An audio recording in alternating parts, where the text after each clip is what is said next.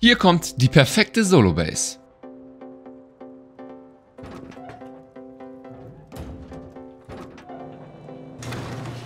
Erstmal gehen wir nach oben.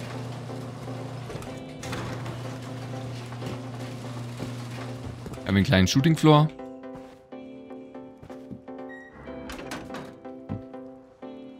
Hier oben drauf einen Platz, um den Heli zu parken. Oder einfach von hier oben runter zu schießen. Hier kann man noch ein paar Sachen reinpacken, um die am Anfang vom Wipe zu verkaufen, wenn man vielleicht Glück hatte und direkt eine Shotgun oder sowas hatte.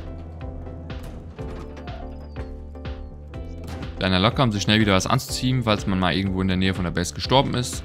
Eine Dropkiste, nochmal zwei kleine Kisten. Und jetzt kommen wir zum Interessanten, dem Bunker. Hier ist der Eingang. So sieht der Bunker aus. Und wie das Ganze funktioniert, wie man das baut, dass das Ding hier hier hingeplaced werden kann. Das heißt, wenn man das wegmacht, das auch weggeht, zeige ich euch jetzt. Wir starten mit einer ganz simplen Starterbase, weil man kann natürlich nicht direkt so eine Riesenbase auf einmal bauen. Wir starten mit drei, drei King Foundation.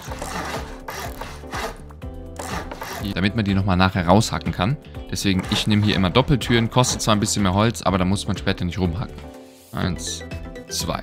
DC stelle ich immer hier in die Ecke. Einfach DC kurz in die Ecke drücken, dass der komplett rot ist und dann langsam rausziehen, bis der blau wird und schon steht der. Man hat am Anfang hier nicht viel Platz, aber wir nutzen den Platz so gut wie es geht. Pack meist hier ein kleines Lagerfeuer hin, um zu gucken, ob jemand draußen steht. Wenn du hier stehst und dein Komfort unten rechts unter den Leben über 50% gehen, heißt das, dass einer in der Nähe von deiner Base ist. Kleine Kiste hier hin, ein Ofen hier hin, Schlafsack hier hin. Werkbank kann hier hin. Und so hätte man eigentlich schon alles, was man in der ersten Starter braucht. Klar, man hat hier nicht so viel Platz, aber das kann man hinbekommen. Starten wir mit dem nächsten Schritt. Das wäre der Bunker. Erstmal baut man rechts von seiner Tür 1, 2 Foundations. Und baut das Ganze genauso wie ich hier. Nicht weiter, so lassen. Jetzt kommt was komplizierteres, weil das, was ich jetzt mache, ist dafür, dass der Bunker überhaupt so funktioniert, wie er funktioniert. Zwei Twig Foundations hier hin. Und hier an diesem Viereck Ihr müsst immer gucken, in die Richtung, in die das Viereck hier zeigt, in die Richtung müsst ihr auch bauen. Heißt, ihr müsst gucken, dass da hinten irgendwie keine Base steht oder ihr zu nah am Outpost oder am Banditenlager seid, weil da kann man ja ab einer gewissen Nähe nicht mehr bauen. Was wir jetzt machen müssen, wir bauen an der linken Seite von der Foundation neun kleine Twig Foundations.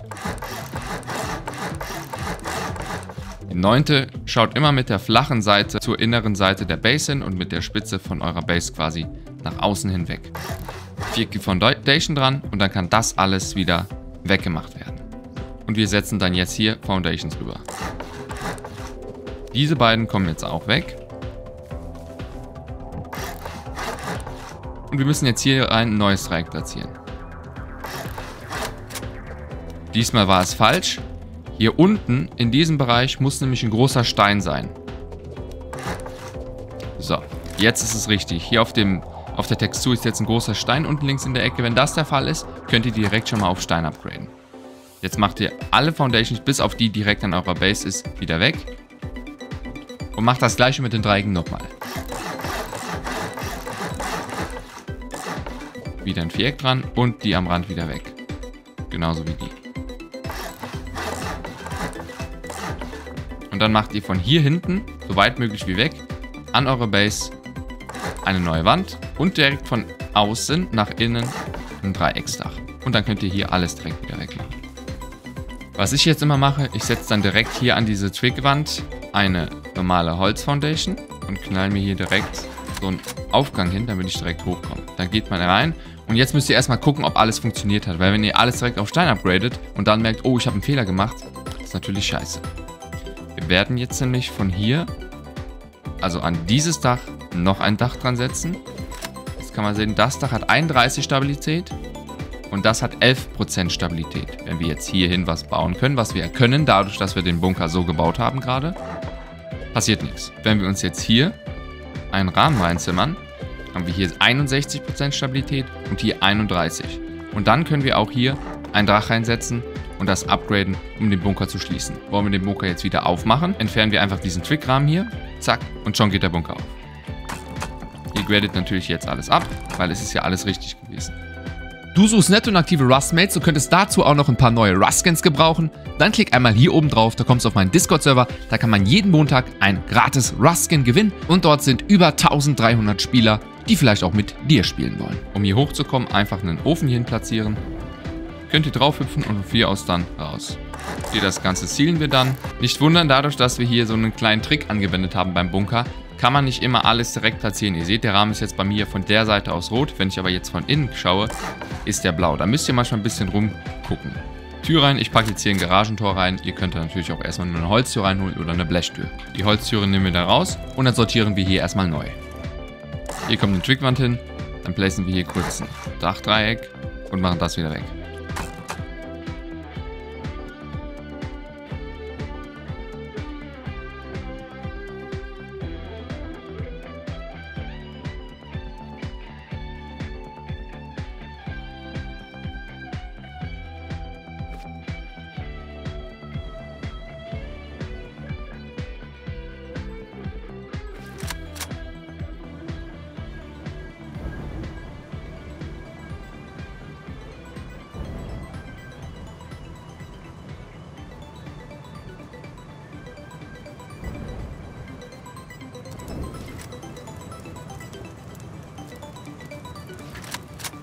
So bekommt man hier sogar zwei Schlafsäcke rein, falls man mit dem Duo mitspielen soll. Das ist ja an sich eine Solo-Base. Ich benutze ja Solos, auch gerade in meinen Stream. Gerne einmal hier oben draufklicken, ein Follow auf Twitch zu lassen, wenn du mal live dabei sein willst, wenn ich streame. Hier packe ich mir immer noch eine Lampe rein, dann ist das Ganze hier auch hell. Ihr könnt jetzt selber entscheiden. Geht ihr erstmal auf Sicherheit, baut also Honeycomb an eure Base dran oder baut ihr erstmal die zweite Etage drauf. Ich mache es meistens immer so, dass ich erstmal auf die zweite Etage gehe, damit ich hier oben noch einen Airlock habe quasi und von oben runterschießen kann. Ihr seht schon, bei dieser Wand ist es wieder so, man kann die nur von außen platzieren. Nicht wundern.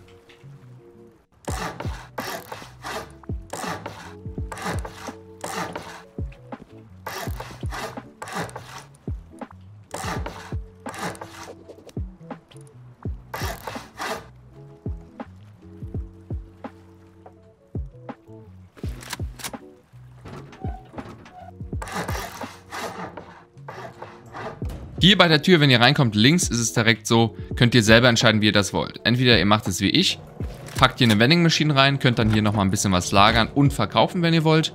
Oder ihr lasst das Ganze und macht hier eine ganz normale Wand rein, das ist euch überlassen. Hier packe ich dann immer schnell Sachen rein. Das ist also meine Dropkiste eigentlich hier.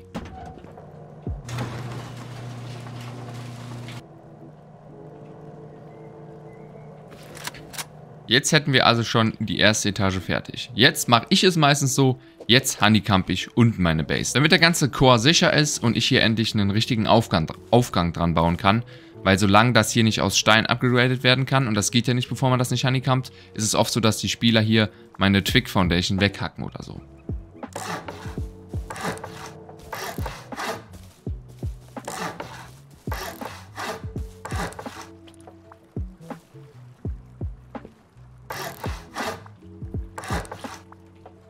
Das, was ich hier gemacht habe, machen wir jetzt einfach bei jeder Ecke. Und dann kann man auch hier einen ganz entspannten Aufgang machen. Den grade ich dann auf Stein ab. So, dann kann den auch keiner mehr kaputt machen. Dann können nämlich die Spieler, die an euren Verkaufsautomaten wollen, einfach hier rüber hüpfen, hier hier hingehen und ihr könnt einfach hier in eure Base rein. Warum ich das gerne ziemlich früh upgrade auf Stein hier draußen, also Honeycomb komplett, damit ich nämlich in meiner Base drinne anfangen kann, das Ganze hier auf HQ abzugraden. Ich möchte nämlich nicht, dass andere Spieler, andere Teams von außen sehen können, dass mein innerer Core aus HQ ist. Weil je krasser abgegradet die Base ist, desto interessanter sieht die natürlich für Raider aus und das wollen wir nicht. Wir, wir haben wie gesagt jetzt das Soundicam fertig, also können wir auf die nächste Etage gehen. Und das wäre unser Shooting Floor. Einfach komplett einmal rundherum Fenster einbauen. Zumachen, zumachen, zumachen, zumachen. Hier, das lasse ich immer auf. Da kommt nämlich eine Leiter rein das hier schließe ich, damit man nicht von außen durchs Fenster mich einknallen, anknallen kann, wenn ich hier hochkomme. Garagentor. Bei dem Aufgang packe ich ein Fenster rein und bei den anderen überall diese Schießscharten. Das mache ich hier meistens auch noch von außen, damit es identisch aussieht, weil wenn ich hier hochkomme und keine Ahnung, mich irgendwer hier abkämmt, dann ähm, komme ich nicht mehr auf meinen Shooting Floor, Deswegen packe ich da immer meistens ein Fenster raus. Aber im Notfall, wenn man auch hier rüber schießen muss, kann man das natürlich auch rausnehmen und hier rüber schießen. Klar, man braucht für die Base ein paar BPs. Ich meine jetzt nicht die Türen oder so, sondern zum Beispiel die Dachluke, die Schießscharten oder auch das Fenster. Aber wenn man angenehm spielt, angenehmes Tempo, auch als Solo, die Base unten erstmal ein bisschen ausbauen, paar BPs farmen, dann klappt das alles wirklich einwandfrei. Ich habe es gemacht am Force-Wipe und es war super sexy. In unserem Shooting Floor platzieren wir jetzt überall noch so kleine Kisten, weil von denen kann man super hier reinglitschen und dann von oben runterschießen.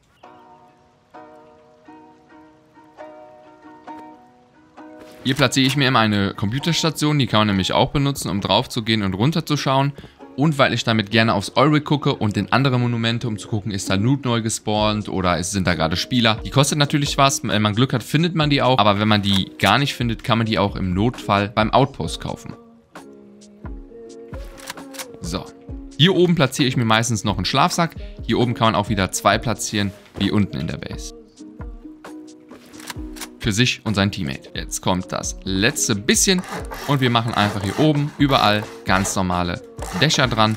Dann kann man hier einen Minikopter parken. Was ich ganz gerne mache, platziere hier super gerne Flame Turrets. Eine hier hin, dann folgt ihr der Linie und genau gegenüber platziert ihr dann noch eins. Dann könnt ihr nämlich euren Heli hier parken ohne Problem. Heißt, es kann den keiner klauen, weil um den Heli zu klauen, muss man ja erstmal einsteigen, den starten und wegfliegen. Und bis dahin, ich platziere den immer so, dass der Sitz vom Heli, also der Pilotensitz, immer genau hier in der Mitte ist. Wenn da jemand einsteigt und den wegfliegen will, weil er irgendwie hier drauf gekommen ist, wie auch immer, mit Leitern oder so, kann der sich zwar hier reinsetzen, wird aber in der Zeit, während er den Heli startet, der startet ja nicht direkt, von den Flammengeschützen weggebrannt. Und so sieht das Ganze dann aus. Ich grade dann oftmals das hier noch auf Metall ab, damit es einfach noch ein bisschen stabiler ist. Aber wenn ihr wirklich die maximale äh, Sicherheit haben wollt, dass die Leute eure Base nicht ganz so attraktiv zum Raiden finden wollen, dann lasst das Ganze hier auf Stein und macht das einfach so. Hier kann man auch noch, bei eurem Bunkereingang könnt ihr noch mal so ein dreieckiges Dach setzen und da kann man dann auch nochmal zwei Kisten für Stauraum platzieren. Ziel ist es, wie gesagt, was ganz wichtig ist, diesen inneren Core, das hier, alles auf HQ zu machen. Auch hier den Rahmen upgraden auf HQ. Der hier ist nicht so wichtig, der muss jetzt nicht unbedingt auf HQ sein. Wollt ihr jetzt offline gehen, wollt euren Bunker schließen, nochmal zum Verständnis. Ihr nehmt einfach einen Holzrahmen, platziert den hier zwischen eurem Ofen über eurem Lagerfeuer.